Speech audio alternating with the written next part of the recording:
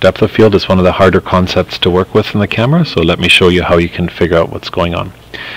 The uh, aperture on your lens is this ring right here, and it goes from, and a bright lens, it goes from f2 all the way to f22, and it represents the fraction of light that's actually coming in the front of the lens and enter exiting the back of the lens. So an f2 stop would mean that half the light that's coming in the front is going out the back, f4 would mean a quarter of the light that's coming in the front is going out the back, and so on. So if you take the lens out and take a look at it, f2 would be wide open, and f22 would be a very small hole, much like your pinhole camera. And if you remember from the pinhole camera, at something like f22, you get a lot of things in focus. The only catch is when you look through your camera, you never get to see this because the camera, when you mount the lens, opens this wide open, and only when it takes the photo releases it, and right after it opens it up again. So you only ever see what is ever is at f2, or at the brightest part of the lens, you never see this dark part. So that's why you have to use the distance scale that's on the lens here to figure out what's actually going to be in focus. So let's put the lens back on. And here's our lens. So on the front of our lens, we have our distance, our um, aperture right here, f2 all the way to f22, and then we have our distance scale on the lens itself. That's showing us what's going to be in focus, and in between we have called what's called the depth of field scale, which is these little numbers here, and that's what I'm going to show. So if you're shooting at f2 and you focus on something that's relatively close, then you would only have the foreground in focus and all the background would be blurry, much like this.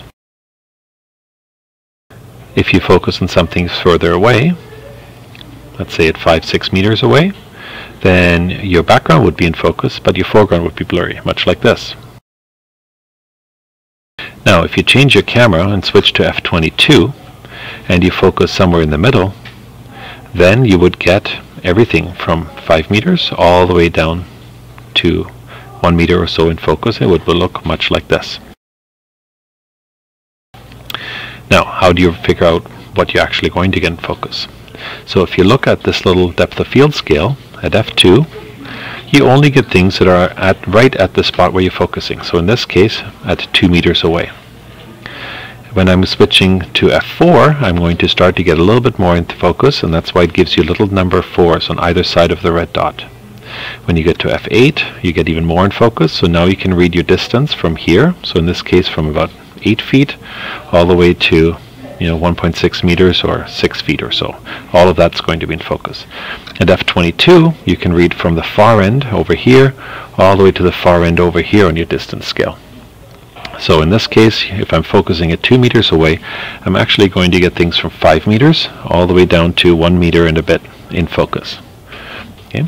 If I focus a little further away, let's say at 5 meters away, or even at uh, 3 meters away, my lens actually is going to have everything from almost infinity all the way down to 1.6 meters in focus, 6 feet in focus. That's why if you ever bought one of those throwaway cameras, they always say have your subjects at least 6 feet away from the camera, and then everything will be in focus. And that's how they do that.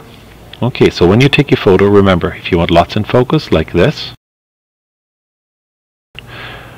shoot at f22. If you want to have only part of it in focus, shoot at f2, and then you have to decide, are you going to have your near subject in focus? Or are you going to focus further away and have only your far subject in focus?